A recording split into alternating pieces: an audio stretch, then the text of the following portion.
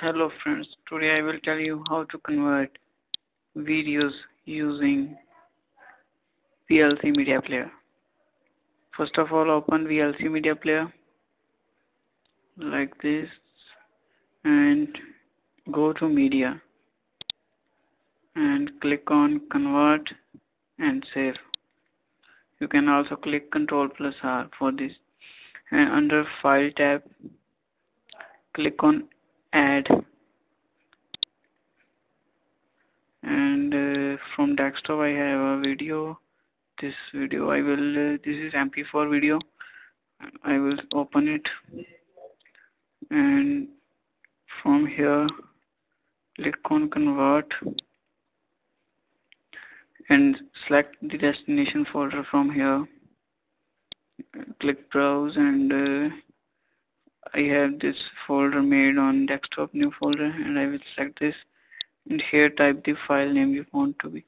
Like I will convert it to AVI so I anything you can type here and dot AVI this I will click on save.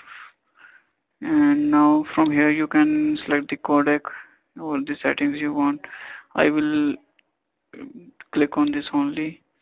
And from here you can select the format you want to uh, already AVI is checked so if you want to convert you can convert or click it another another format but I will click on AVI only and save button and now click start button. Here you can see the processing has started and it is of 1 minute and 36 seconds video so it will take few seconds or few minutes to do um, so wait for some time.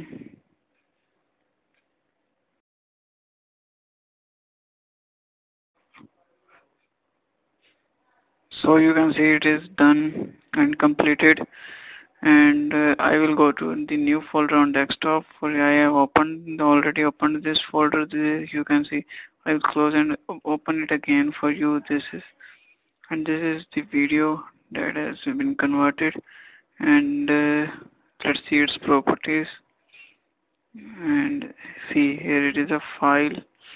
Uh, type is uh, AVI and uh, size is 16 MB and all that this is. And let it be play I will play for you. Open with uh, VLC media player and see it is playing like this dot AVI see this? And it is nice